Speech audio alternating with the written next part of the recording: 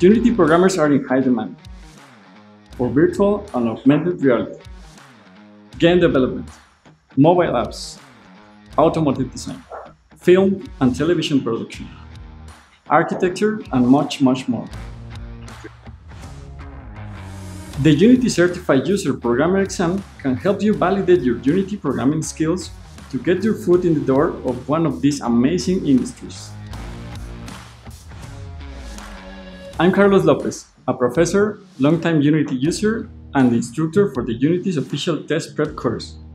This course is designed to prepare you for the Certified User exam, an industry-recognized credential by testing your skills with real programming challenges. Aligned to all of the topics on the exam, you will learn the foundations of computing and programming, feel comfortable working in the Unity editor interface, be able to import 3D assets with animations, create code following industry best practices, and much more. And by the end, you will be able to tackle the exam with confidence. I'll see you in the course.